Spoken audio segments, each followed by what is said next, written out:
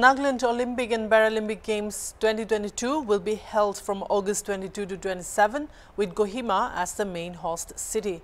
This was declared today by the Nagaland Olympic Association during a press conference held at NOA complex in Kohima.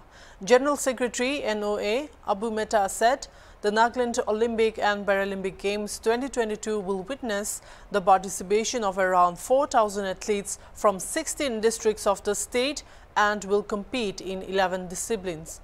He termed the event as the state's biggest ever sporting event. He also confirmed that Nagaland will participate in the forthcoming Northeast Olympic Games in Shillong, Meghalaya.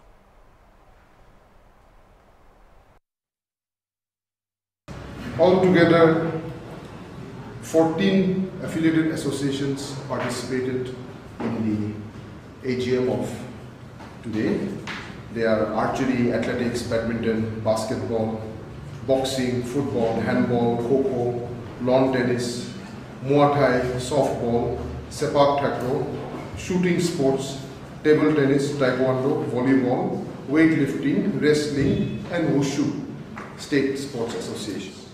If Nagaland is to change the narrative in sports, if we are to start producing champions, we must first start by streamlining the sports associations.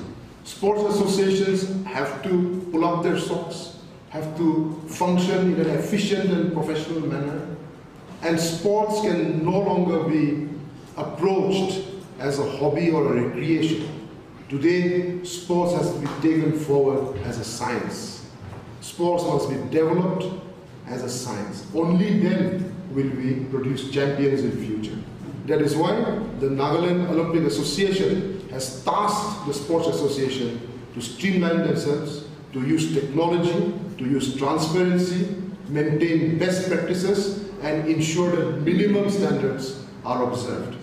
The Nagaland Olympic Association is taking this ideal and this spirit of the Olympic movement forward. That is why we have included Paralympic sports this time you are aware, recently all of you have participated in a program where we also launched and initiated, instituted the Nagaland Paralympic Committee. This was carried out on the advice, consultation and recommendation of the Office of the Disability Commissioner. So this will be the first time that it will be Nagaland Olympic and Paralympic Games.